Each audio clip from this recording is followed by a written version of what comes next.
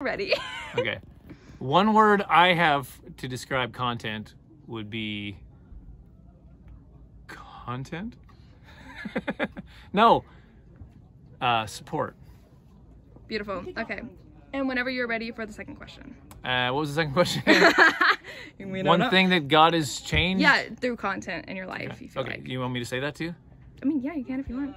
Okay, so the one thing that, that God has uh, changed me through content, uh, it's it's about community. I don't know how to say it in one or two words, but it's it's the community. It, it's it's other believers. It's the body of Christ, and just seeing that. Uh, coming here, on, I, I came here in the midst of some some uh, COVID-y kind of uh, times, which were very difficult for me and my family, and and and navigating uh, shutdowns and lockdowns and things like that.